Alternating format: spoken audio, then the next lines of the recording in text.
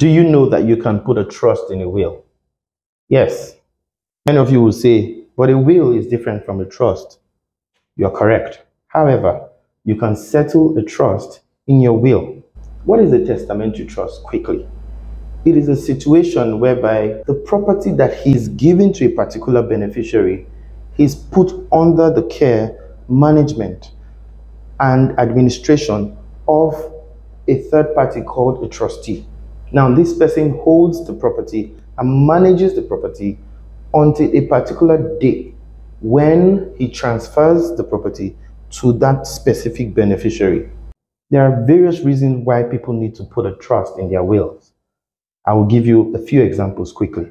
Number one, where you have a child or children that are less than one year of age. Let's say one less than one year up to 17, 18. Another scenario is where you have a child that is a spendthrift, a child that is extravagant with spending. Another scenario is where you have a child that has a medical condition. You really just want to consider putting a trust in your will.